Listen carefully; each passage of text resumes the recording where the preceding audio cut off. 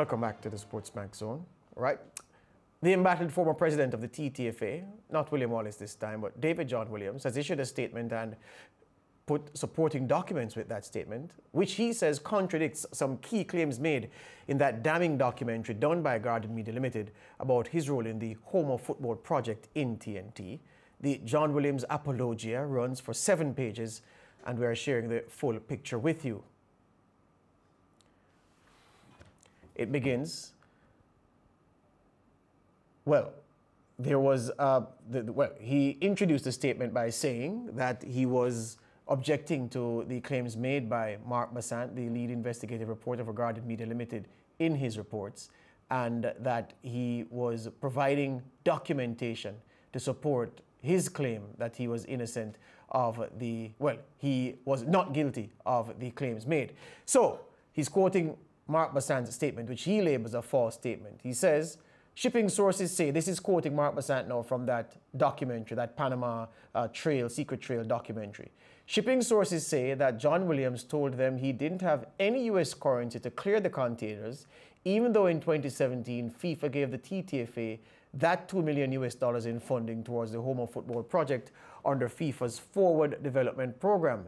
In addition to the funding from the FIFA Forward Development Program for the project, the TTFA got another 1.25 million US dollars. This money came from the annual allocation given by FIFA to all federations to assist with operational costs of national associations. After the disbursement of the project's funding, FIFA's development program manager Solomon Mudege in July 2017 made a list of stipulations which the TTFA should follow. Here's what David John Williams says in a statement of fact. He says, FIFA did not in 2017 give the TTFA 2 million US dollars in funding towards the Home of Football project under FIFA's Forward Development Program. The TTFA did not in 2017, John Williams says, get another US 1.25 million to assist in its operational cost. He says what actually happened, David John Williams, was that as of July 2017, the TTFA had not even yet submitted its application for the Home of Football project. The TTFA's application was submitted on August 15, 2017, and was approved by FIFA on September 5, 2017.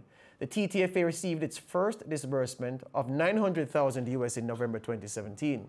Further, the lease for the land to be used for the project was given on August 3, 2017 by the T&T government. No approval could have been given by FIFA without this lease. Additionally, in 2017, the TTFA, as well as all member associations of FIFA, received a sum of 500,000 US dollars for its operational costs. The TTFA did not, David John Williams says, receive 1.25 million US. So, that's what he's saying. A key claim made in the documentary by Mark Bassant and David John Williams is saying, well, no, we the, the dates that you said we got the money, those date the monies, those dates are wrong, and the amount you say we got, those amounts are wrong. Split in however many tranches, we did not get that amount. And he attached to the statement some documents signed by the government to show when he got the lease for the land to build the home of football and also when he submitted the proposal to FIFA, and of course, when FIFA approved the uh, well approved the project that was submitted, so he issued that to say that yeah, the claims are wrong, the dates misalign, and there is nothing there for us. We're supposed to be joined by Keith Look Loy. I don't know if he's on the line. He is. Thank you very much, Keith. Good afternoon. Welcome to the SportsMax Zone. Good afternoon, boss. Good afternoon, Jamaica and Caribbean. All right. Before I go to you, there was a statement issued by United TTFA in light of the developments at FIFA, where FIFA said, well, there was nothing to address where the suspension of a member was concerned. Do we have that graphic? United TTFA statement? All right, we don't have that. All right, Keith, since you're here, what is it that United TTFA have said coming out of that FIFA Congress from Zurich, but which of course which is a virtual event. What is the position of United TTFA at this time? Well, we were not surprised at the fact that um, there was no no discussion, no motion for suspension under item four. We always expected this. Um, because, of course, we knew that the procedural arrangement to put a suspension before the Congress uh, um, and to table it on the Congress floor uh, had not been followed. Um, in addition to that, that's the legal take on it. The, the, our political take on it is that, of course, and it turns out that we, we were right, are right, that um, the the president of uh, of FIFA and his people will look to go to a much smaller group than the 211 uh, representatives of the different national associations. They will now look to go to the Bureau of the Council, as it is called, which comprises seven people, because of course it's much easier to convince seven people to levy this suspension, this disciplinary action, than to um, convince 75% of 211 people who you would have to then have a discussion. And we know for a fact that there were people poised to pose some difficult questions on the Congress floor. So that has been bypassed. And now, of course, we have a new deadline. And they will no doubt take it to um, the same people who imposed the normalization committee. That's Infantino and some representatives from the different confederations. They need four people to make um, a decision on, um, on, a, on a global scale that has global implications. That just doesn't sound right, but that's how it is. So the, the question is though, Keith Look Loy, if it is that this thing is going to, I, am going to call them a group. One, one person I spoke to in TT today called it a cabal of FIFA. And well, I left that alone. That was their impression. But I just have to reflect to the viewers how this thing is brewing and how FIFA is being typecast by certain people in Trinidad and Tobago who have an interest in this fight. If it is that this thing goes to that group and the inevitable happens then, what would have been the price of the fight that United TTFA have mounted against FIFA that would have led to the suspension? Well, one, one, one could define it as a price to be paid. One could define it as well, perhaps on or probably on the other side of the equation, could define it as a benefit one. Um, look, Trinidad and Tobago as a whole, the population, and specifically within that, the football community, if I could call it that, is um, divided, probably evenly down the middle, just like um, uh, Trinidad and Tobago party politics is. There are people on both sides um, the, the, the, the, Wallace administration was elected to be the leadership of everybody in, in mm-hmm. Trinidad and Tobago football. And therefore, we are mindful even now that the, dead, the first deadline anyway um, passed, and uh, now we have a new one, which is what, next week, Wednesday. We are mindful. Since um, that new deadline arrived, I have been on the phone talking to people in my constituency, which is the Trinidad and Tobago Super League, and outside of it, um, to get a feeling. Has your position changed? Um, do you have a new view on this? What do you think we should do? Some people want to paint a picture of a handful of people. and the Eve yesterday described it as a, as a gang. William Wallace was elected by 60% of the football electorate. Let me repeat that. He was elected by 60% of the football electorate in a, a, I mean, a total show, right? There was a total turnout for that election. He's not the leader of a gang.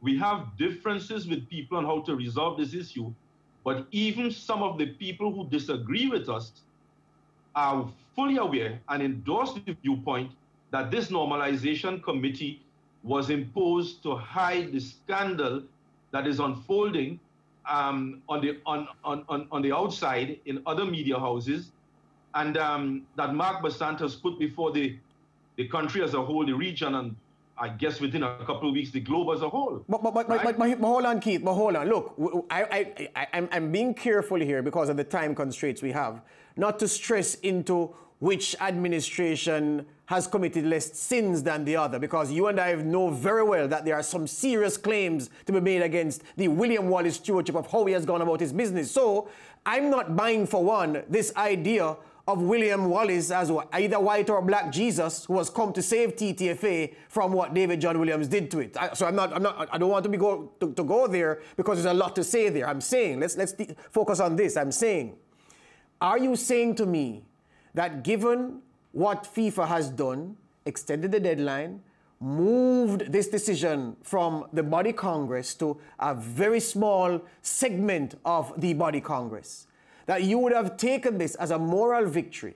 And maybe it is your position will, if not soften, change, and perhaps we could see a withdrawal of this thing from the T&T High Court, carrying it to CAS, satisfying what FIFA wants, so that football in Trinidad and Tobago can move on. That is the question for you, sir. Well, I'll respond to two, to two parts of your, of your question. We don't see it as a moral victory. We think that what we would have wanted was a discussion on the Congress floor by, by, by all the members, yes, and not just by a handful of people, four people making such an important decision.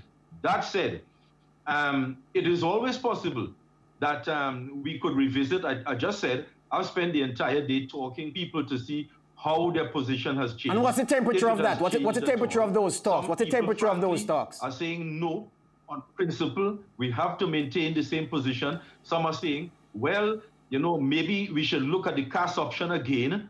Um, some are saying we stand with you on the principle, but we, we, we, in reality, we don't want to see football banned. So there's a range of opinion. So and that the, means you need a meeting, Keith McLeod. That means you need a meeting. the skill is to that, that means you need a meeting to put a question to the members, not just your constituents, but all of those who would have supported you up to this point. And what is true is that you have strong support in Trinidad and Tobago because if you didn't, we perhaps wouldn't be here.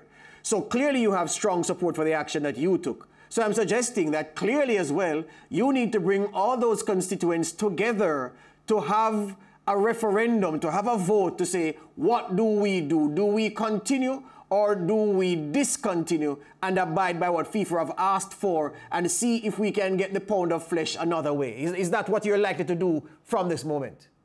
But I, I won't say we're likely to do. Listen, as you well know and appreciate, this this um uh, uh, uh, decision, if I call it that, of FIFA dropped on us just a few hours ago. So what we have already, and we had we've had discussion, both within the group and outside of the group. Um, what we have agreed is that we will continue to discuss it over the next 48 hours, Saturday, Sunday, weekend. And by the time we get to the, um, the top of the new, we should have an idea of how we want to approach. Part of the discussion we'll be having over the weekend, and I repeat, is with people um, who both support and don't support. And why you don't you support and why do you support, but don't want us to go all the way. Yes, so it is a, it is a dynamic situation. I'll admit that it's a situation in flux. We're not deaf to the reasoning of people who are opposed. We listen to that every day. I do. I can guarantee you that. But we also listen to that constituency, which was which is saying, to hell with it. We have to stand up on this. We cannot be and have people just come in here and tell us what to do. Now, having said that, a return to CAS that has been tabled we'll discuss it. I cannot speak for the entire group, and I cannot speak this early into the period that has now appeared upon us. How many how many members in the United TTFA the group? time, so to speak. How, how, many how many members in the United TTFA group?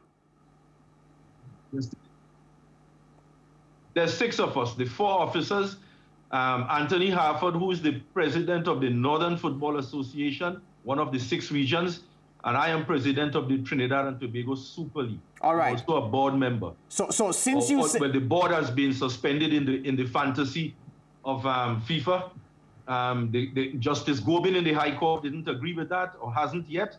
But um, I'm also a board member. So since you so, so there's six of us. Since you say that there are a range, well, there are differing views within the group of six.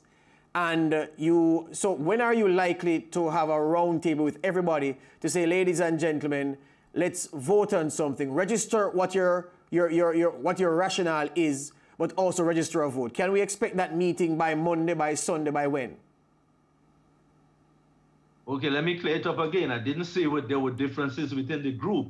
I no, I didn't say differences. I said a range. I said a range of different opinions. Yes. That appear to us and that people are putting before us. Yes. That's a different thing. Yes. But again, having said that, what we have um, agreed during the course of today is that we will continue to monitor the situation, talk to our people, and by the time we get to the, the new part uh, or the early part of the new week we have on Wednesday, then um, we, we, we, we should have a much clearer or have formulated a much clearer idea of how we want to proceed. In, in principle, it may be um, that we, we, we, we go with one option, which is people are saying we, we want to go back to CAS. It may be that we say no, we stand in firm because there's a strong body of opinion that says, forget it, we'll survive, let's go ahead, and whatever ban we get, we'll deal with it. Hmm, all right. You are not telling me when you're having that meeting, fine. But you are confirming, though, as we, as we, as we, as we wrap this discussion, Keith Look Loy, that what is true is that the position has softened, if not collectively in the United TTFA, among some members. And because the situation is now one that is in flux, you are minded to see if there is a different course of action that can be taken. I'm paraphrasing. Is that, does that represent what the position of United TTFA is as we break? No, uh, let me put a finer point on it and let me nuance it a little bit. I'm not saying that the position has softened. I'm saying that we in extra time, we're playing to win. And I'm saying that we tactics will change. Um, you, you are football man, who am I? I'm saying that we have to look at how we want to play the extra time. That's all. Hear you on that. Hear you on that. I watch with, well, we'll be in touch over the break to see what happens over the next few days. And when the new week comes, you've been stressing that the new week will bring a lot, a lot of clarity to all these positions, I'm sure. Thank you very much, Keith Look Loy. My pleasure. United TTFA member uh, Keith Look Loy, they're talking about the situation in Trinidad and Tobago football. No ban yet FIFA has moved the September 16 deadline to a September 23 deadline. The United TTFA, the group which has taken FIFA to court, the Supreme Court in Trinidad and Tobago, they say that their members have given their views in light of the extension of the deadline and that there will be a position defined and pursued by early in the new week. We were to have the head of the normalization committee, Robert Haddad. We had some issues there connecting with him. And uh, yeah, we'll be advancing those discussions at another time. We take a break and move on with the show after.